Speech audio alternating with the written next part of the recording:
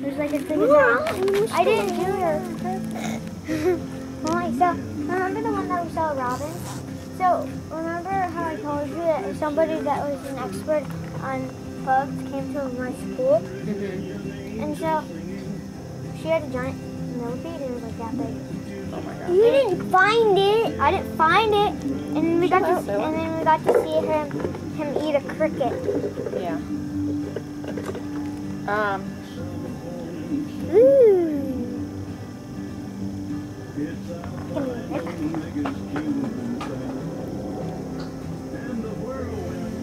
He's cool looking. How many legs do you think that guy has? A milla, What? a milla. Okay, rough. How many legs? Milla means a thousand in, in uh, Latin.